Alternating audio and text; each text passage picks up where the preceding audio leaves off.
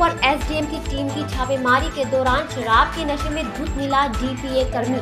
विभाग के जीएम ने कर्मी को सस्पेंड करने के आदेश रोडवेज़ इंचार्ज को दिए हैं। गौरतलब है कि एसडीएम के पास शिकायत आई थी कि रोडवेज़ में डीपीए के पद पर तैनात कर्मी शराब के नशे में ड्यूटी कर रहा है। इसके बाद एसडीएम ने अपने रीडर राजेश कुमार व गनमैन सुरेंद्र को कार्यवाही के लिए भेजा।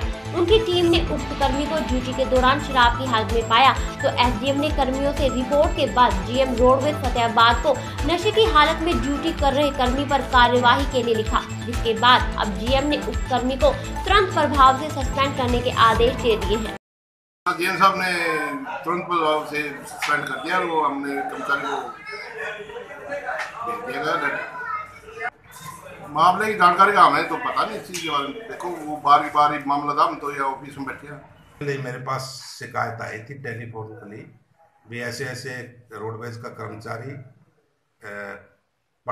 डीजल पंप पर बैठे हैं, शराब पिए हुए मैंने तुरंत उस शिकायत पर कार्रवाई करते हुए अपने स्टेनो और गनमैन को वहाँ भेजा मौके पर।